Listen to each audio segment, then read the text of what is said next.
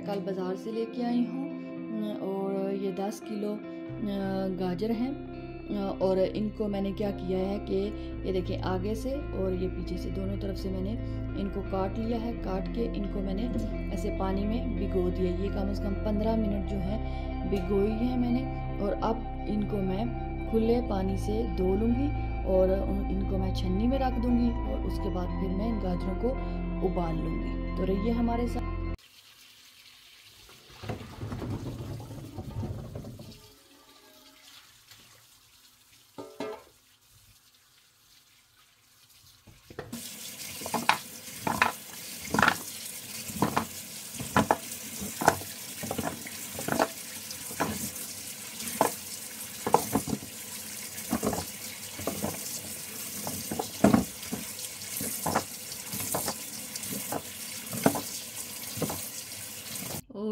ये सारी हमने देखें, गाजर हमने धो ली है और उसके बाद अभी हम इनको करेंगे कद्दूकश।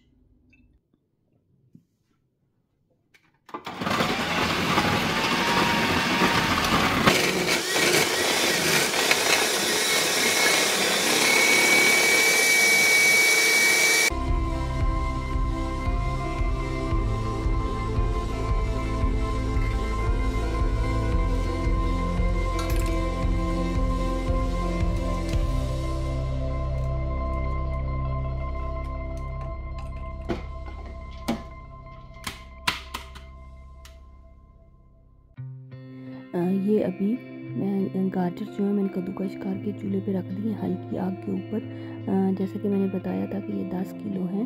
तो ये जो है दोनों, एक देश के में नहीं आ रही थी तो इसलिए मैंने दोनों देशकों में डाल के तो मैंने उबालने के लिए रख दी ये दोनों में टोटल दस किलो है, एक एक में पाँच पाँच किलो गाजर हैं, जो कि हल्की आग के ऊपर मैं इनको उबाल रही हूँ। और ये जो है चीनी थी एक किलो का पैकेट तो मैंने आधा पहले इस्तेमाल किया हुआ था और आधा जो है, मैं इन दोनों देशकों में आधा आधा डाल दूँगी। चीनी थोड़ी है, लेकिन हम बाद में जब बनाएँगे तो उस पर चीनी और फिर डाल लेंगे। लेकिन ये जो है, सिर्फ़ अभी मैं गाजरों को सेव करने का तरीका बता रही हूँ। ये दोनों अभी गल गई गाजरें मैंने चेक की हैं, गल गई हैं और इसमें अभी पानी है थोड़ा बहुत लेकिन बिल्कुल मैंने पानी ड्राई नहीं किया। और इसके बाद इसको चीनी को थोड़ा सा हिला लेंगे और पाँच मिनट तक इसको रखेंगे हम आग के ऊपर ही, हल्की आग के ऊपर ही। और उसके बाद जो ये चीनी जो है यकजान हो जाएगी तो उसके बाद फिर हम इसका चूल्हा बंद कर देंगे और इसको हम ठंडा होने के लिए रख देंगे। ठंडा हो जाएगा तो फिर इनको कंटेनर में एयर टाइट कंटेनर में डाल के तो हम इसको फ्रिज में रख सकते हैं। ये एक महीना तक आराम से फ्रिज में चल सकती हैं।